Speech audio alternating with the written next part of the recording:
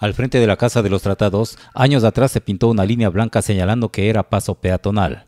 Pocos la respetaban y tampoco nadie sancionó.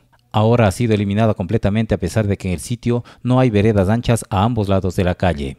Sí, correcto. Existe un tramo donde no existe vereda, ¿no? Se tenía señalizado con, pintura blanca, simulando, por así decirlo, una acera.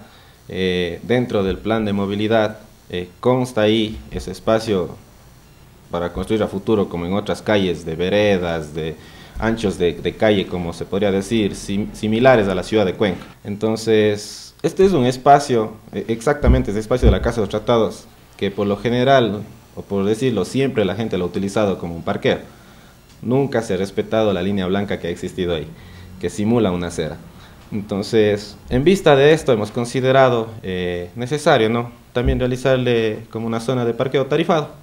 Sobre el alto número de paradas de camionetas y taxis en las calles céntricas, se manifestó que se están haciendo respetar los permisos de acuerdo al área concedida. Sí, correcto, ¿no? Esto también es algo que se viene regulando. Justamente tuvimos, se podría decir, eh, una conversa con transporte de acá, de la calle Simón Bolívar, que es de la compañía Quintanilla, se llegó a un acuerdo porque ellos habían tenido permiso, igual estoy andando con un documento donde están las patentes que ellos pagan, los usos de suelo y los espacios que ellos tienen para cada eh, compañía.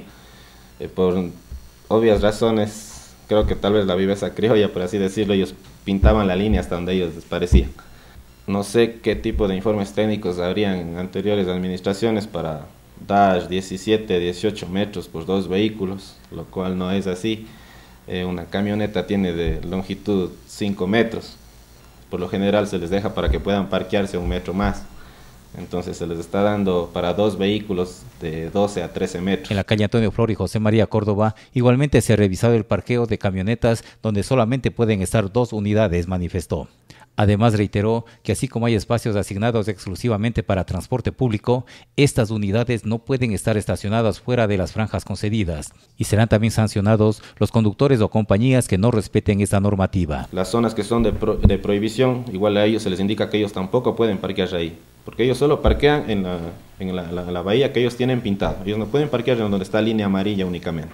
Eso también se les comenta a ellos que de ahora en adelante eso también va a incurrir en una sanción. Entonces ellos tienen que tener mucho en cuenta eso, no por el hecho de tener una camioneta de transporte mixto me puedo parar en una línea amarilla, fuera del lugar que tenga autorizado. Entonces todo eso se les comenta a ellos, o sea, las sanciones van a ser para todos. Ellos por ganar espacio cogen y se paran en línea amarilla, no donde está autorizado el espacio para que ellos puedan parquear.